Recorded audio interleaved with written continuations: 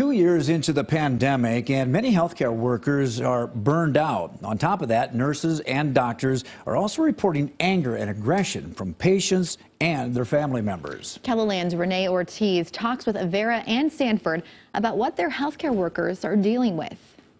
Since the pandemic has started, we have seen violence against healthcare workers, whether it's in clinics or in the hospital as well. That anger has grown as the pandemic continues to impact our lives. Whether it's physical or verbal, uh, we certainly have seen an uptick in that. Nurses have been brought to tears on the phone by the um, words and the comments that are being thrown at them from the other end. We're also really stressing to our staff that no one should tolerate this. COVID has brought feelings of stress, anger, and frustration. Two years of the pandemic, we are all tired. The caregivers, I would say, are tired and tested.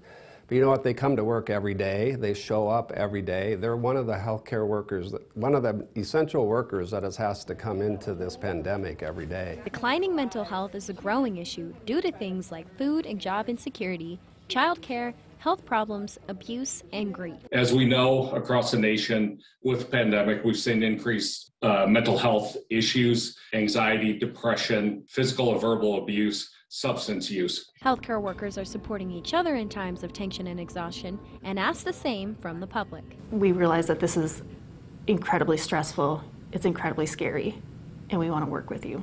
In Sioux Falls, Renee Ortiz, KELOLAND News. The American Medical Association is calling for a nationwide end to the violence against healthcare workers.